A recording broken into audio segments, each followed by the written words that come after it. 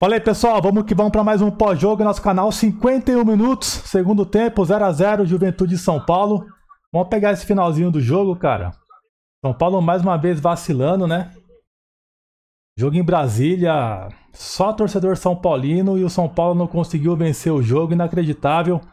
E precisamos mais uma vez conversar sobre o Luiz Ubeldia, tá pessoal? Já conversei com vocês referente a esse assunto uma vez aí, e muita gente ficou brabinho, arrancando os cabelos. Mano, é, não interessa se vão ficar puto de novo aí porque eu vou reclamar, porque, cara, isso é inaceitável, mano. O Zubeldia, mais uma vez, está suspenso. Mais uma vez, tomou mais um cartão amarelo hoje, o terceiro, e tá fora do próximo jogo. O auxiliar dele, de novo, de novo foi expulso também. Então, cara, de novo, cara, até quando vai ser isso aí, mano?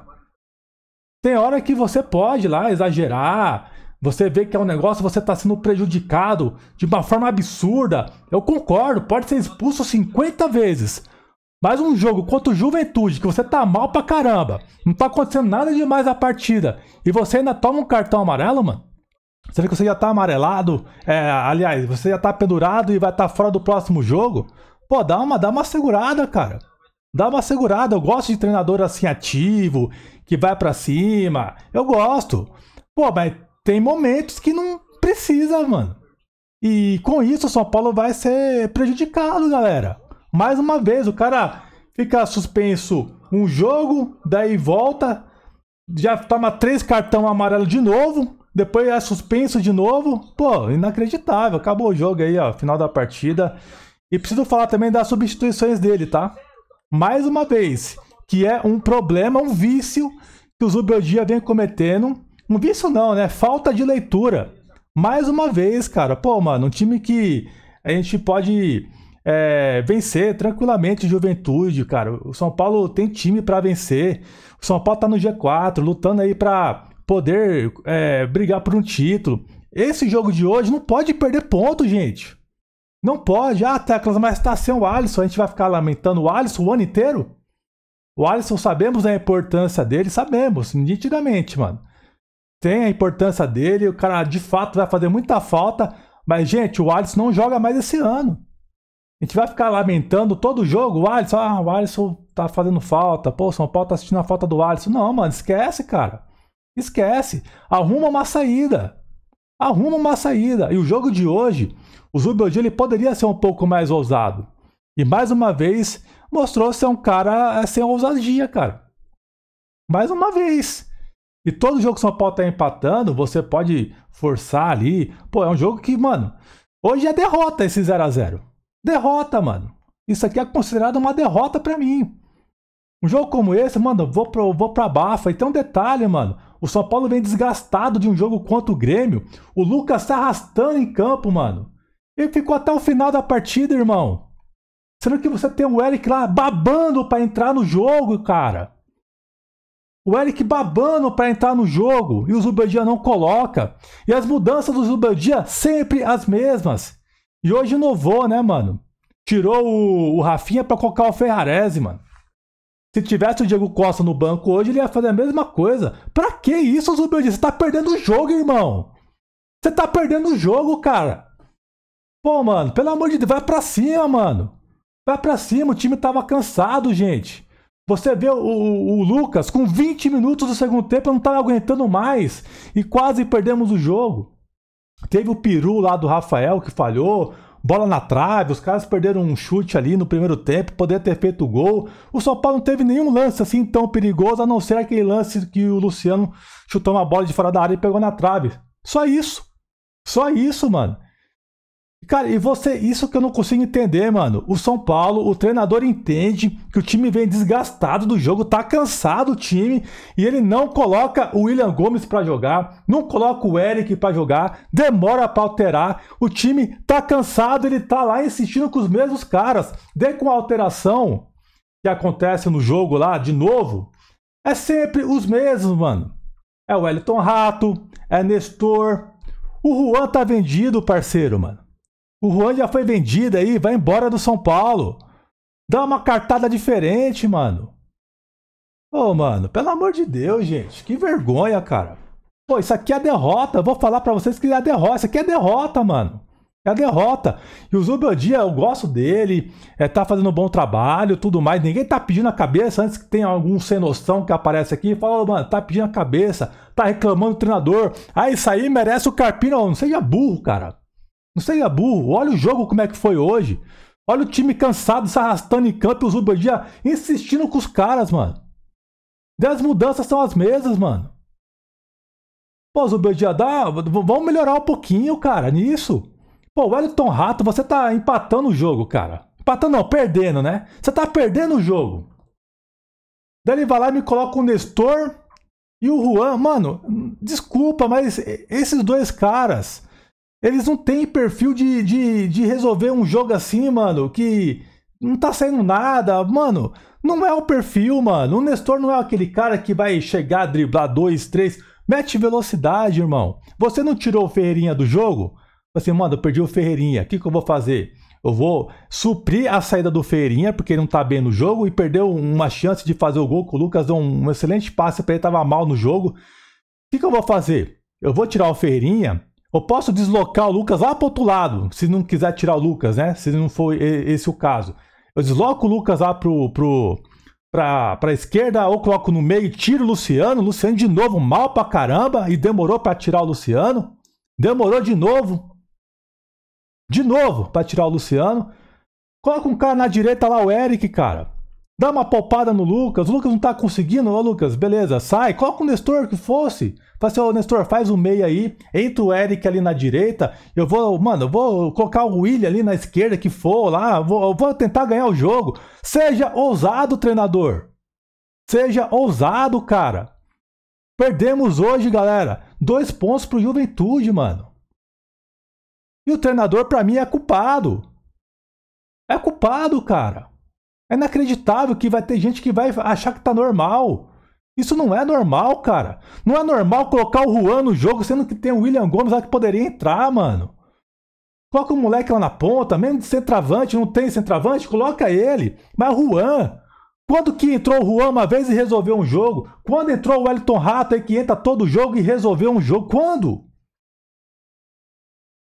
Pô, mano, fica difícil, cara. Como é que você achou aí do jogo, cara? Pô, mano, esse jogo me irritou pra caramba, velho. Me irritou pra caramba. O Zubeldia, mano, o Zubeldia, pelo amor de Deus, cara. Pelo amor de Deus, cara. Mano, as mudanças sempre as mesmas. Colocando zagueiro no lugar de lateral. Coloca o Moreira que tá lá, velho. Coloca o Moreira. Não quer colocar o Moreira? Coloca o Eric de ala ali, mano. Fala pra ele, Eric, faz a ala ali. Volta para marcar, ataca. Seja diferente, cara. Eu não consigo entender, galera. É, para mim é um defeito enorme que tem os Ubiodia é isso. Enorme, mano. Enorme, enorme. Deixa eu agradecer aqui os apoiadores do meu último vídeo aqui do canal, o vídeo de ontem. Cara, é sensacional o apoio de vocês. Valeu todo mundo aí, mano. Carfer, Marcos, o Ginaldo, o pastor aí, é Marcos William, o Mateusão, o Carlos, Fabinho, o William Zagato sempre aí, o Fábio, o Beto Manin, todo mundo aí é, que fortaleceu no último vídeo, os apoiadores do Valeu Demais. Todo o vídeo estamos agradecendo o pessoal que contribui com o nosso trabalho. Valeu demais, é um coraçãozinho que está aqui pertinho do remix aqui no canal, tá pessoal? Com um cifrãozinho lá. E todo vídeo que tiver alguém apoiando, né, patrocinando aqui os nossos vídeos, no vídeo seguinte a gente acaba agradecendo, tá? E colocando na tela para vocês. Obrigado a todo mundo aí, que Deus deu o dobro para cada um de vocês. Comente o que você achou aí do jogo, o Zubiodia, se eu, tô, se eu tô exagerando. Cara, sinceramente, galera, eu acho que o Zubiodia precisa melhorar, mano. É inaceitável isso, cara. E os cartões amarelos, todo jogo toma cartão. Volta de suspensão já toma cartão, já pega suspensão de novo. Vamos enfrentar o Botafogo, jogo importante. Talvez seria um confronto direto se tivesse vencido hoje, brigando lá em cima. E você vai ser um treinador, cara. Pô, mano, se o Zubeldia for expulso, galera, sinceramente, em um clássico contra o Palmeiras, porque ele viu um absurdo. O Abel tá lá enchendo o saco e ele foi lá apertar o Abel.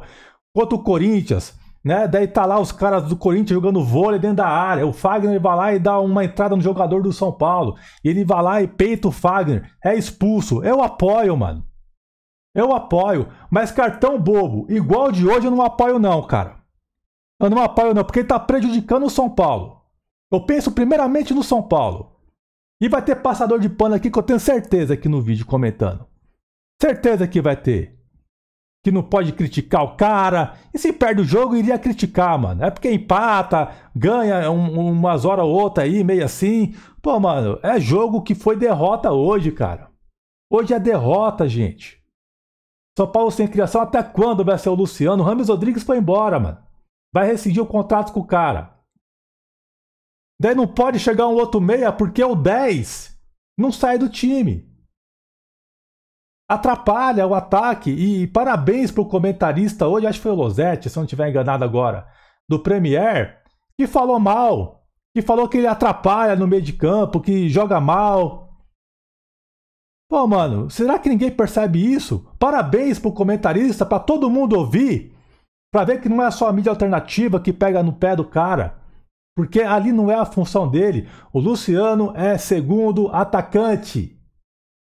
O Luciano é segundo atacante, ele não é meia. Ele atrapalha os ataques do São Paulo, cara. Ele atrapalha. Teve uma hora, mano. Eu até anotei, acho que um minuto aqui. Deixa eu ver se eu acho esse minuto que eu marquei aqui, mano.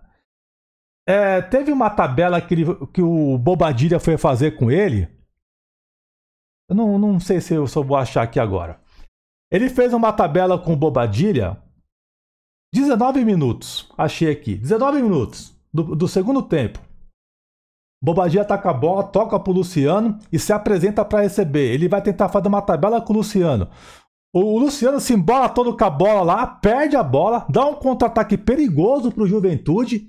E o que, que o Luciano faz? Ele vai reclamar com Bobadilha. Mano, esse lance eu vi, eu fiquei, eu fiquei abismado, cara. Eu, por que ele reclamou do Bobadilha? O Bobadilha tocou a bola pro Bonitinho, tocou a bola pro Bonitinho, se apresentou na área, o Bonitinho se atrapalhou com a bola lá, perdeu a bola, ele ficou assim e fez assim pro Bobadilha. Eu não consigo entender, mano. Não consigo. Reclamou. Ele, ele se, se, se atrapalhou inteiro no, no lance e reclamou com Bobadilha. Inacreditável, mano. É inacreditável, rapaziada. Inacreditável, mano. Sal Store Alpha Shop, a loja aí que é parceira do nosso canal, fica em Alphaville, tá, pessoal? Envios internacionais e também nacionais. Produtos originais e licenciados do São Paulo. Contato na tela aparecendo para vocês e também aqui na descrição do vídeo. Eles enviam fotos para vocês aí dos produtos que eles possuem na loja, tá? Loja incrível que certamente você vai curtir bastante. Tem parceria com o nosso canal. Galera, é... eu vou falar mais, tá? Eu vou falar mais, eu vou falar o que eu tô sendo sincero para vocês, porque aqui no canal é assim. Não importa se vão reclamar, se estão. Ah, oh, Tex, você tem que defender o São Paulo, mano. É, é questão de justiça. O lance que eu vi no gol ali que o Rafael falhou, falhou, mano.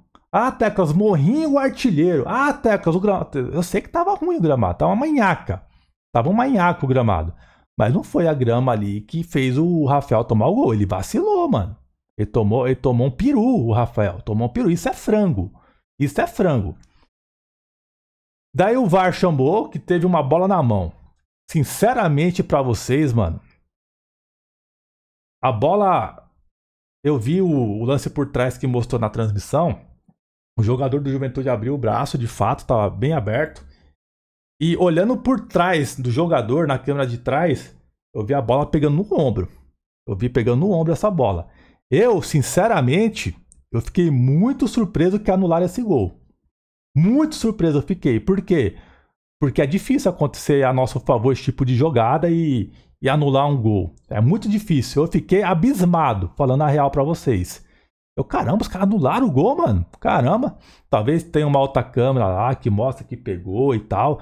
Mas olhando na câmera de trás, eu vi a bola pegando mais no ombro. Posso estar enganado. É a opinião que eu vi do replay ali do lance. Pode depois aparecer uma alta câmera, depois a gente analisar e mudar de opinião. Mas olhando essa câmera por trás, para mim ela pegou no ombro do jogador, tá? Para mim não, não era para anular, não. E tivemos sorte. Teve uma bola que pegou na trave, bateu na, na linha e saiu. Tivemos uma sorte danada, mais uma vez. Tivemos sorte contra o Grêmio. Em alguns momentos, se você pega alguns jogos do Zubeldia, que o São Paulo vence, empata uma partida, a sorte está do nosso lado em alguns, alguns momentos. Só que até quando a gente vai ficar dependendo da sorte? Uma hora azeda, mano. Uma hora azeda. Então, assim, para mim, o São Paulo, eu acho que tem elenco para poder brigar de frente. Vai chegar o Marcos Antônio, que já é, chegou em São Paulo hoje, deve ser anunciado amanhã ou terça. Já chegou um reforço aí que pode fazer a função do Alisson e tudo mais. Cara, é, não dá para ficar, de novo repito para vocês, falar toda hora, ah, o Alisson tá falando, não, não dá, mano. O São Paulo tem elenco. Hoje nosso meio de campo era Luiz Gustavo, experiência é, e Bobadilha, jogador de seleção.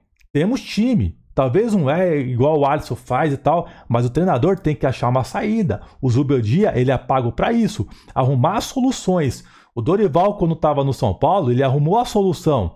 Ele deu uma sacada lá de colocar o Alisson de volante que todo mundo criticava. Eu era um dos primeiros a criticar. Eu achava um absurdo isso. Eu achava um absurdo.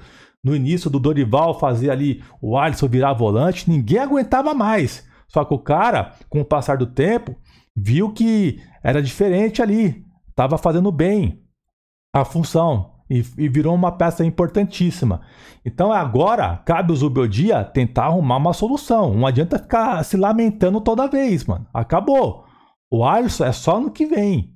Então esse papinho de Alisson eu não vou ficar suportando também, porque o São Paulo para mim tem time para arrumar solução para jogar mais do que jogou hoje. E de novo eu repito para vocês, o time estava cansado, Teve lá 17 minutos lá contra o Grêmio no último jogo. E o Zubeldia demorou para substituir. O time estava cansado, arriado e ele não mexeu, mano. E quando mexe, coloca rato que parece um, uma capivara e não coloca o, o veloz Eric, mano. O moleque tá babando para entrar, mano. Só que ele tem as prioridades, né? Vai entrar sempre lá o Nestor, vai entrar o, o Rato, Agora, não era o Diego Costa, mas agora vai ser o Ferrarese no lugar de lateral. Não consigo entender isso. Se você está empatando o jogo, precisando ganhar, irmão. O treinador faz isso. Me coloca um zagueiro no lugar do lateral, mano. Vai ter gente que acha normal isso. Sendo que você tem a opção. Se ele troca faz seis por meia dúzia, é, é, na substituição ali, para mim tá de boa. O problema fica maior quando ele coloca um zagueiro, velho. Pô, isso aí eu não consigo aceitar, não, gente. Na boa, não consigo. Tem gente que vai passar pano, igual eu falei, que vai achar que tá tudo maravilhoso. Não tá. Não tá. Vai ter dois jogos complicados agora: Botafogo e Flamengo. E o Zubeldia tá fora da partida. Graças a Deus deve voltar o Caleri para esse jogo. Mas, mano, colocar o Juan pra jogar, mano. Mano, o, o Nestor, ele é um cara que ele é pra ser titular, mano titular, eu falo para vocês. Ele pode ser titular do São Paulo. E já foi titular. Foi importante pra caramba. Mas para entrar num jogo que tá difícil, que você precisa de um cara para quebrar a linha, para você ter velocidade, pode até achar um bom passe e tal, é, dar uma assistência e tudo mais, mas é difícil, mano. É difícil. A probabilidade de você colocar um cara veloz e ir pra cima num contra um, coloca o William que tá morrendo de vontade de jogar, coloca o Eric também que nunca mais entrou. Sumiu o Eric, mano. Sumiu, daqui a pouco quer ir embora também. Coloca um moleque para entrar e pra jogar, velho. Dá, faz um, faz um algo, algo diferentinho, Zubeldia. Muda o, o seu roteiro, cara. Muda o seu script um pouco. Mas é sempre a mesma coisa, cara. Pode ser que uma hora o Nestor entre e resolva de novo. Pode ser, igual foi na Copa do Brasil, pode ser que resolve. Ninguém tá falando que ele não resolve. Mas a probabilidade, mano, não é bem isso, entendeu? Que vai acontecer. Ainda analisando o contexto do jogo, não era jogo pro Nestor, não era jogo pro Rato, sinceramente. Ainda coloca o Galopo. Pô, mano. Se colocar o Galopo, coloca antes no lugar do Juan. Prefiro ver o Juan, o, o Galopo de centroavante do que o Juan que até foi importante na época do Rogério Ceni. Mas, cara, para mim o Zubeldia comeu bola hoje total, mano. Total, time cansado, jogando mal pra caramba. E aí? A gente fala, pô, tem que contratar um meia, né? Um meia atacante e tal. O Rams foi embora. De contrata aí, vai ser reserva. Não vai jogar. Não vai, a gente vai ficar numa roda gigante aqui, ó. Falando a mesma coisa para vocês, mano. São Paulo perdeu uma grande oportunidade de ficar lá em cima. Confrontos direto aí agora é, contra Botafogo e, e, Flamengo. Hoje foi uma decepção, cara. Sinceramente, decepção. Enfrentaram o Juventude que o treinador chegou sexta-feira, velho. Chegou sexta-feira lá, o Roger, o Jair Ventura. São Paulo não conseguiu vencer, mano. Ainda os caras perderam o Gilberto no início do jogo. Talvez se o Gilberto tivesse no jogo lá, teria vencido o jogo e teria tomado o gol do Gilberto. Mano, comente aí. Esse é o pós-jogo aí, de sua opinião. Tamo junto e até a próxima. Valeu.